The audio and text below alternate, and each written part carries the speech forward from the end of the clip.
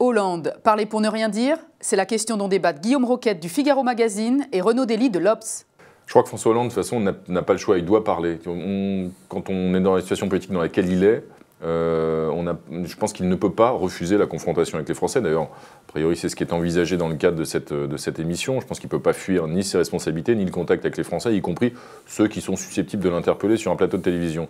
Évidemment, ça ne suffit pas à restaurer un lien, tout ça n'est qu'une toute petite pierre, c'est pas ça. C'est pas une émission politique qui permet à un président en difficulté comme celui-ci aujourd'hui euh, de s'en sortir. Mais en revanche, je crois qu'il y a un devoir d'explication, d'abord à l'endroit évidemment de l'électorat qu'il a élu euh, il y a deux ans et demi. Hein. on est à mi-mandat et on voit bien qu'aujourd'hui cet électorat s'est totalement évaporé.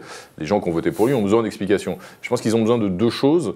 Euh, d'abord que François Hollande leur donne du, un certain, redonne un certain sens, une certaine perspective à son action. Et c'est vrai qu'il y a un besoin d'explication là parce qu'on a eu une succession euh, de décisions euh, dans un contexte économique extrêmement difficile et que parfois le cap c'est un euphémisme, a été difficile à percevoir. Je pense que depuis janvier 2014, en tout cas, le cap est tracé plus clairement. Et puis, il y a un devoir de pédagogie aussi, parce qu'il faut remettre la situation de la France bah, dans l'environnement international. Là, on est, ce qu'il est.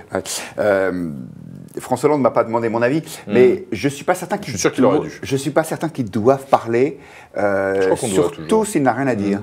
Euh, euh, votre explication, elle est classique hmm. de la, du, du, du, du, politique qui se trouve dans un corner, à gauche comme à droite, en disant ça marche mal, c'est parce que les Français ne comprennent pas mon action. Et donc je vais leur expliquer, et quand ils auront compris, ça ira mieux.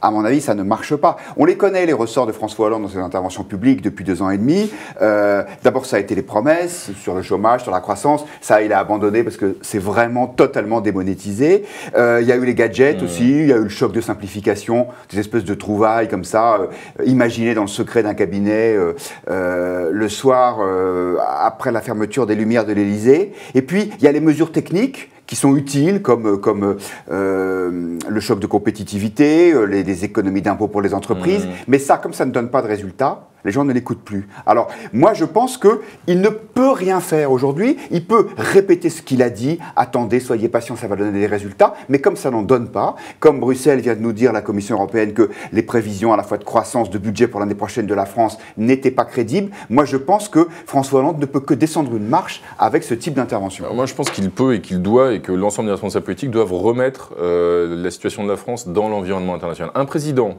de gauche, en difficulté dans l'opinion, qui subit une déroute électorale, euh, dont les marges de manœuvre et le pouvoir sont reniés par l'opposition qui l'emporte et qui triomphe, effectivement, ça existe. Ça existe où? Aux États-Unis. On vient de le voir. Barack Obama vient de perdre maintenant même la majorité euh, au Sénat, alors que souvenez-vous aussi, et là pour le coup, il n'y a peut-être pas de magie Hollande en 2012, mais en tout cas, il y a eu une magie Obama.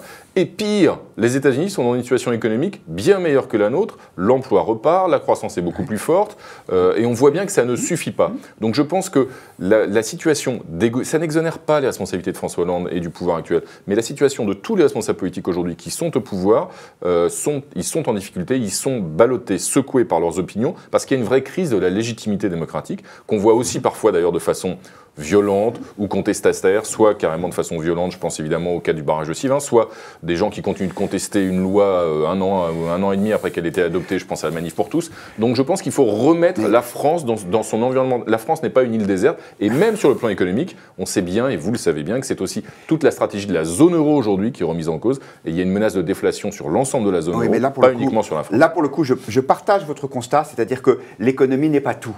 Et, c'est presque inquiétant pour François Hollande de voir son ami Obama, qui, malgré des résultats économiques autrement, autrement plus flatteurs que les nôtres, n'arrive pas à, gagner ses élections euh, de mi-mandat. Pourquoi? Parce que les Américains ont globalement le sentiment que euh, leur avenir leur échappe, notamment parce que s'il y a retour de la croissance, elle, elle est surtout pour, pour une petite minorité. Et je pense que ce problème de fond de déficit de légitimité que vous pointez.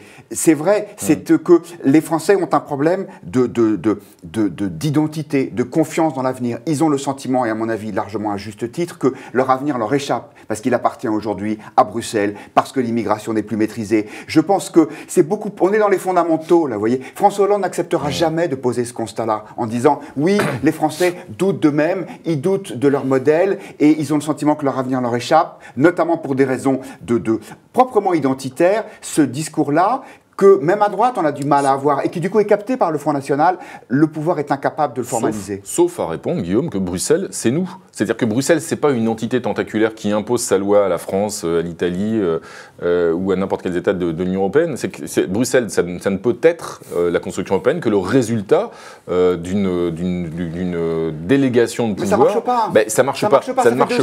Ça ne marche pas encore parce que justement, un certain nombre d'États se replient sur leurs égoïsmes nationaux. C'est pas pour ça. C'est pas, pas Bruxelles, c'est pas nous. Bruxelles, c'est Berlin.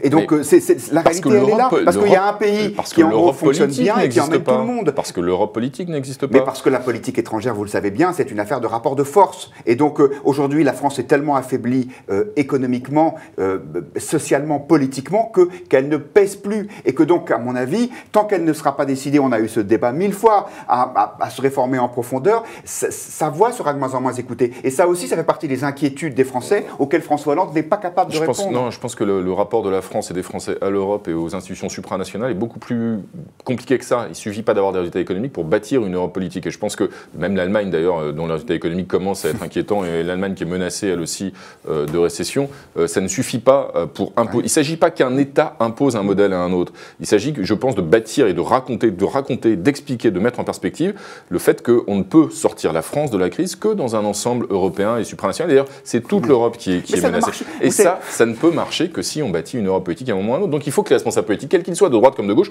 cessent de dire Bruxelles nous impose, Bruxelles nous menace, euh, Bruxelles nous, nous, sanctionne. Cette Europe, politique, nous. cette Europe politique et supranationale, les Français n'en veulent pas. En tout cas, c'est ce qu'ils ont dit aux dernières élections européennes. Vous connaissez comme moi les résultats. Ce discours que vous teniez, c'est celui... 60% d'abstention. Oui, mais c'est ce qui veut dire que ça ne mmh. nous intéresse mmh. pas. On va dire qu'en tout cas, ils n'adhéraient pas à ce projet. Et c'était en gros celui du Parti Socialiste comme celui de l'UMP. Et donc, euh, c'est cette Europe-là, c'est cette volonté d'Europe politique dont, qui, à mon avis, est rejetée par les Français. Donc là aussi, sur ce point-là aussi, très précisément et très profondément, François Hollande est en décalage C'est l'Europe financière qui est rejetée. Il y a un besoin d'Europe politique.